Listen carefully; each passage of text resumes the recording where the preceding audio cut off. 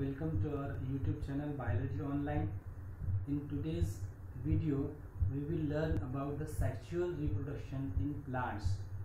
है तो so the definition of sexual reproduction is actually the reproduction which involves the gametes or sex cells.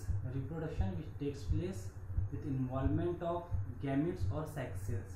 In plants, in case of plants, the gametes or sex cells are pollen grains and ovules.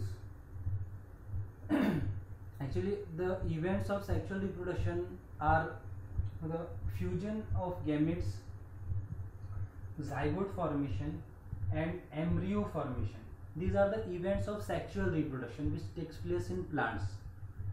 To understand the sexual reproduction, we need to understand the structure of flower. Let's see the structure of flower. देखिए, आज हम sexual reproduction पूरा process को समझने से पहले हमको structure of flower को समझना ज़रूरी है। Because the sexual reproduction in case of plant the sexual reproduction takes place with the help of specialised organ in plants, that is, flower. So, let's see the structure of flower there are two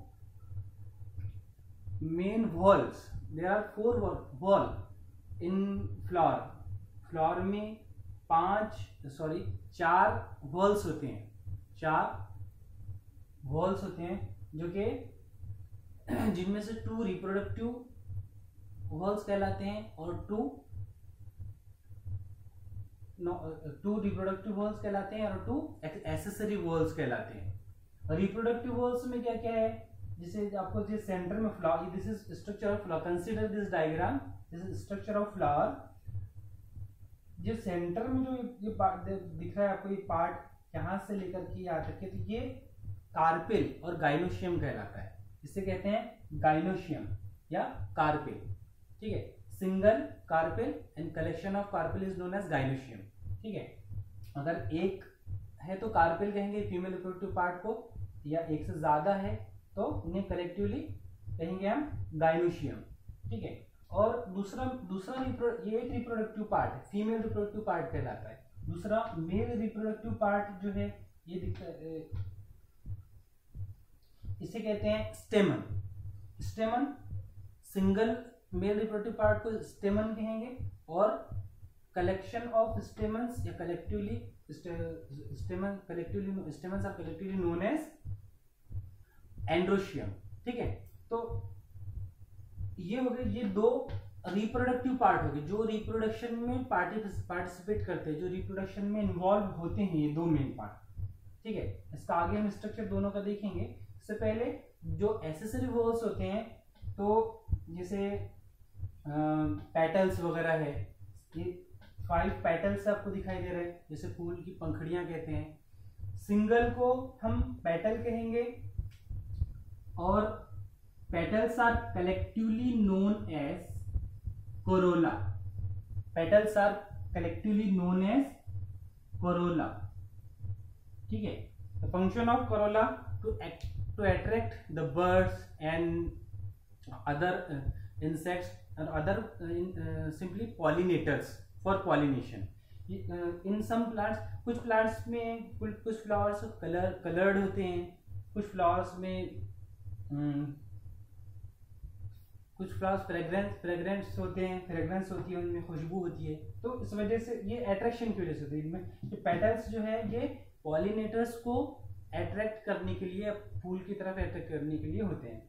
ठीक है? और आपको जो ये एक सबसे main part very important part of flower ये जो दिख, ये है, इसे कहते हैं हम ओवरी ओवरी वाला पार्ट होता है। ओवरी के जो कवर किया हुआ, जो और इनके सराउंडिंग में कवर क्या होता है ये? इसे कहते हैं हम सिंगल कैलिक्स और sepals are collectively known as corolla ठीक है?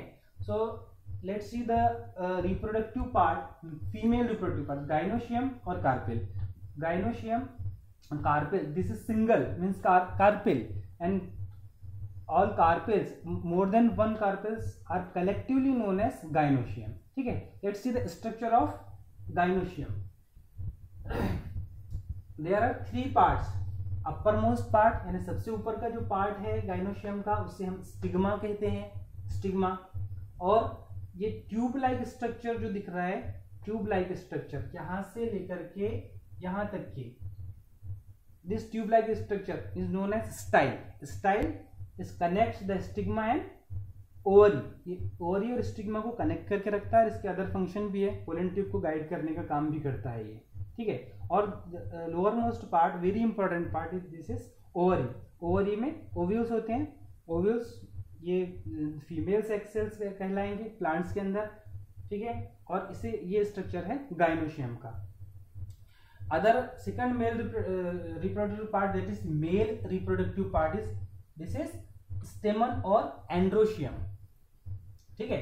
इसके दो पार्ट है। इसका मेन ये फर्टाइल पार्ट कहलाता है बिकॉज़ इसमें सेक्सेल्स डेवलप होते हैं। जैसे ये बहुत सारे आपको दिखाई दे रहे हैं। ये पोलन ग्रेन्स है, ठीक है? डेहिस्ट यानी खुला हुआ या फूटा हुआ इस एंथर ये एंथर है। और दूसरा पार्ट जो डंडी है, जिसे ये कहलाता है फिलामेंट फिलामेंट का काम क्या है? कि एंथर को एक्सपोज करके रखता है, आगे ले जाने, आगे रखता है, ठीक है? और एंथर के अंदर बहुत सारे पोलन ग्रेन्स होते हैं और पोलन ग्रेन्स बोल तो ये मेल सेक्सेल्स है इन प्लांट्स के अंदर, या इनमें मेल गैमिट्स होते हैं और ये ओव्यूल्स में फीमेल गैमिट्स होते हैं। ठीक है? तो so these are all about the structure of flower in next video we will see the sexual reproduction in detail thank you